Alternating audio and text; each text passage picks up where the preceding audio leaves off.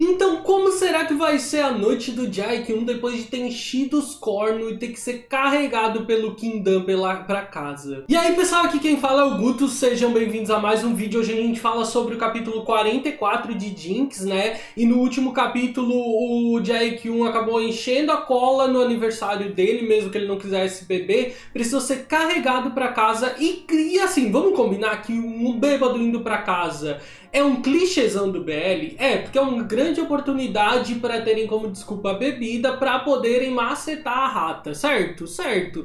Só que a questão é que o Jae-kyun já é um cuzão sem tabu para sexo, então deixa a gente muito curioso de saber como ele, bêbado, então poderia reagir nesse momento. Antes da gente falar sobre esse capítulo, deixa eu te lembrar que o like no vídeo é muito importante porque ajuda no engajamento dele. Se você é novo por aqui, se inscreve, ativa as notificações para ficar por dentro dos próximos vídeos de Jinx.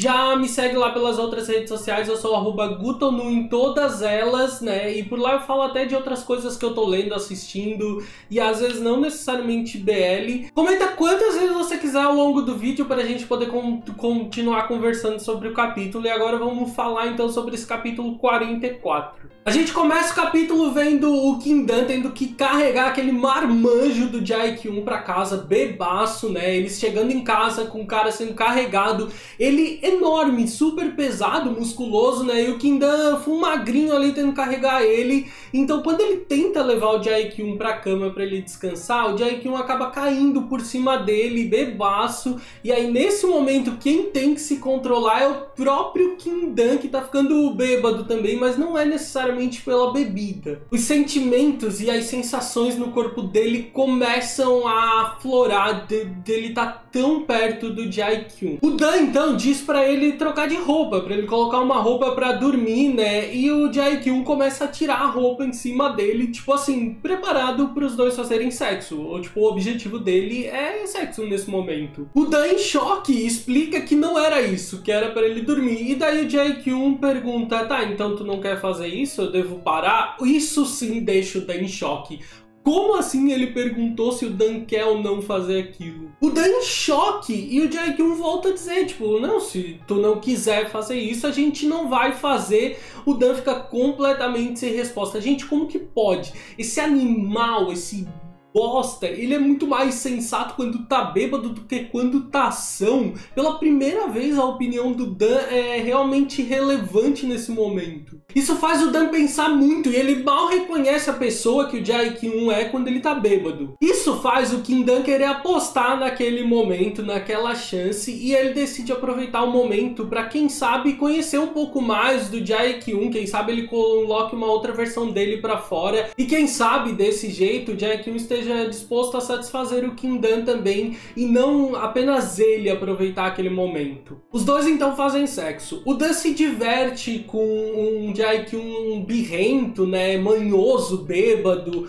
e, e, isso tudo acontece, tem quadros lindos, óbvio, basicamente o capítulo inteiro é disso, e a gente vê o Jae-kyun se esforçando muito para satisfazer o Kim-dan e não apenas os próprios desejos. O próprio Dan fica muito surpreso em como aquilo tudo tá acontecendo diferente e ele faz aquela comparação clássica de que parece que eles estão fazendo amor e não apenas sexo. Em um determinado momento também o Jae-kyun ele fala e pergunta algumas coisas que o próprio Dan não entende direito, né? Ele pergunta por que, que o Dan tem provocado tanto ele ultimamente e a gente sabe que o Kim Dan não tá fazendo nada demais, ele tá apenas existindo e dando o máximo dele para ser legal com o Jae-kyun, mesmo que ele não mereça. E o próprio Jae que não dá explicação daquelas perguntas, ele nem tá com a cabeça muito no lugar para isso, e como eles estão no meio do bem bom, eles acabam deixando isso para lá e essas perguntas ficam tanto sem explicação como sem resposta. Aquilo continua e termina intensamente com o Kindan tendo sensações e prazeres que ele nunca teve antes com o Jae-kyun. Então depois que os dois terminam, o Kindan ele fica ali curtindo aquele momento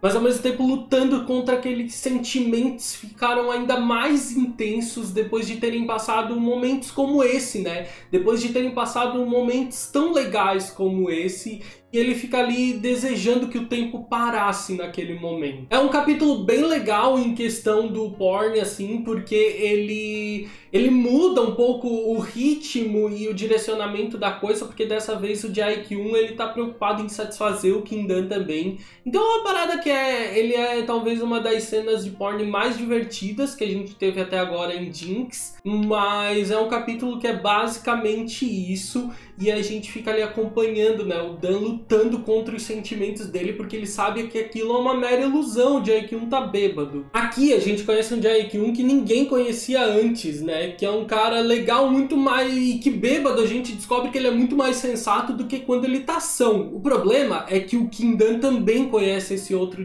1 e isso pode fazer ele cultivar algumas esperanças que ele não deveria, porque aquele cara ali não é o que existe sempre. O próprio Dan sabe que são coisas que ele não deveria cultivar nele mesmo para um futuro, mas ele não tem como lutar direito contra aquilo. Uma questão que eu acho que é muito legal na construção do Dan como personagem é que ele, ele é, é, é, muito fácil ele tá nesse lugar que ele tá, porque ele é um cara completamente fragilizado, que vive em muita solidão, que realmente não tem ninguém para onde correr.